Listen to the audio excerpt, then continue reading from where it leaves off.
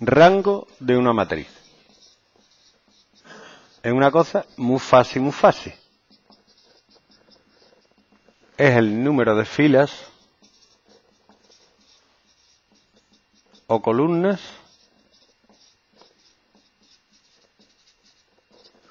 linealmente independientes. Es decir, que no se puede conseguir a partir de las otras. Entonces, un número, el 3, es una matriz de rango 1. ¿Vale? El 3 tiene rango 1.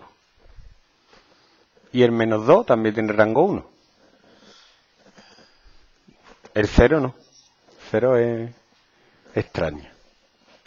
Ahora, de una matriz de orden 2, por ejemplo, 3, 4, 1, 2,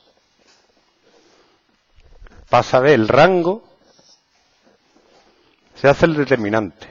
Si el determinante de una matriz de orden 2 es distinto de 0, el rango de A es igual a 2. Y si no, si el determinante de A es 0, el rango de A es igual a 1. ¿Vale? Por ejemplo, el rango de esta matriz es 2. Las dos filas son linealmente independientes, ¿vale? Tú no...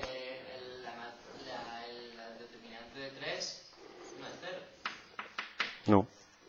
Determinante de 3 es 3. El determinante de menos 2 es menos 2. Pero el determinante de 0 es 0. Este es rango 1 porque tiene un número. Esta tiene rango 2. ¿Por qué? Porque si yo hago el determinante, me queda 2. Entonces el rango de esta es 2. Sí, siempre da distinto de 0 es 2. Ahora, de esta matriz B que voy a poner aquí, 3, 1, 6, 2, el rango es 1. Porque el determinante es 0. Mm, este determinante da 6 menos 6, que es 0. Y eso quiere decir que hay una sola fila linealmente independiente. Es decir, aquí realmente solo tienes una fila. Porque la segunda fila es la primera por 2. ¿Vale? O, las, o la primera columna es la segunda por 3. Entonces es 0 y el rango de B es 2.